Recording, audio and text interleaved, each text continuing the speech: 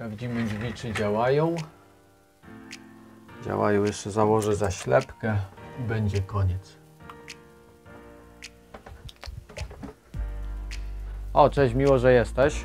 Daj mi chwilę, ja sobie tylko zrobię tutaj porządek. I jak już przyszedłeś, no to pokażę Ci, jak została zamontowana ta garderoba dzisiaj, gdzie są dwa wysokie słupki, e, rurki na wieszanie ubrań, dwa poziomy, długie, kolejny wysoki słupek, gdzie jest mi- między innymi miejsce na deskę do prasowania. Także zapraszam Cię do obejrzenia tego odcinka.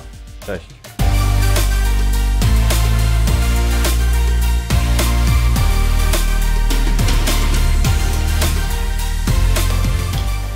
Na początek kilka słów wstępu, zanim zaczniemy montaż tej garderoby. Po pierwsze, jej projekt mogłeś zobaczyć we wcześniejszych odcinkach, a jeszcze wcześniej mogłeś zobaczyć, jak mierzę to pomieszczenie pod meble. E, Teraz szybko Ci opowiem, co będziemy robić, ponieważ muszę tą garderobę dość szybko wykonać i w późniejszym e, etapie tego filmu nie będzie na to czasu, więc teraz Ci opowiem e, o tym, od czego zaczniemy. Zaczniemy od postawienia, jeśli nie oglądałeś jeszcze tego odcinka, gdzie pokazuję jak robię projekt, to sobie zobacz, tu będą dwa wysokie słupki z szufladami, e, kosze na bieliznę, jakieś ręczniki i półki. E, Dalej będą drążki na ubrania, e, tam też wysoki słupek i tym przede wszystkim się zajmiemy. Dopiero na samym końcu wjadą te mniejsze elementy, które będziemy mogli wnieść w całości, a te słupki będziemy składać tutaj na miejscu. Elementy mamy pocięte, poklejane e, i tak samo tutaj, gdzie drzwi e, przy tych wysokich słupkach znajdą się plecy HDF białe, dlatego że meble stoją 5 cm od ściany, jeśli chodzi o głębokość i byłoby widać drzwi po prostu. Gdyby się je odsunęło, byłoby widać drzwi za meblami. Dlatego te dwa słupki za mną będą miały te plecy, reszta będzie już dochodzić do ściany, e, więc tam pleców nie będzie. Postaram się zrobić dwa osobne odcinki, gdzie pokażę jak rozmierzyć półki e, w takim wysokim słupku i jak rozmierzyć e, sensownie rurki na ubrania, które będą wiszące, tak aby zmieścić długie, e, krótkie ubrania i jakieś bardzo długie słupki. Także zapraszam. Thank you.